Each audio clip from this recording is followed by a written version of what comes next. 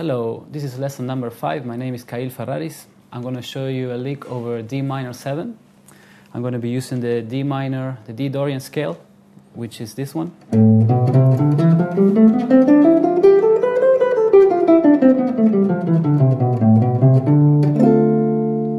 And also I'm going to be using the D minor arpeggio in this position.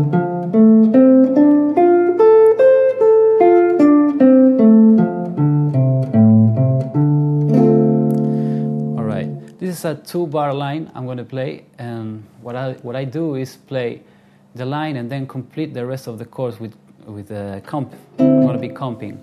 So I play the line, it's a two bar line, and I'm going to be comping for the next two bars, so that gives a, a total of four bars. All right? Here goes. This is the line.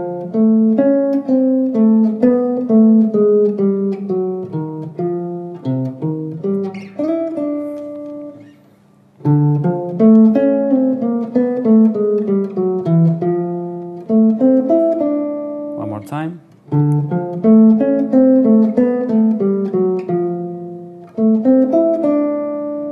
Let's speed it up now. One, two, one, two, three, four.